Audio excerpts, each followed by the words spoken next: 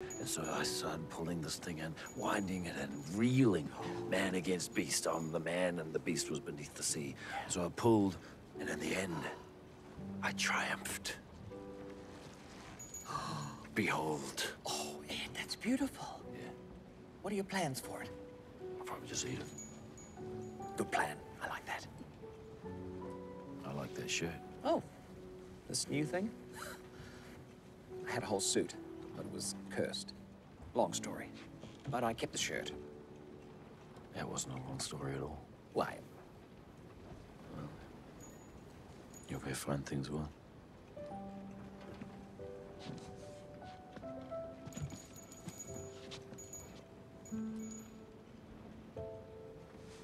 Can we take it? Yeah, sorry, I didn't. I was thinking. No, I just need to. Um, No, I know.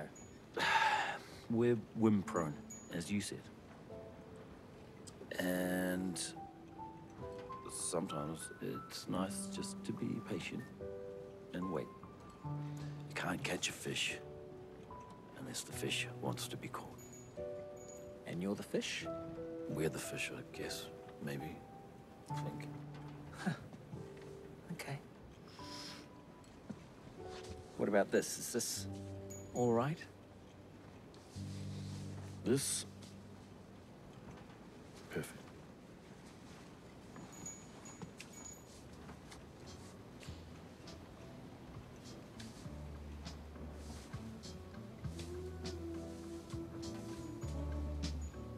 You won. Hey, guess what? I also found out today. Fang's real name is Kevin, after his dad. Really? Kevin Senior.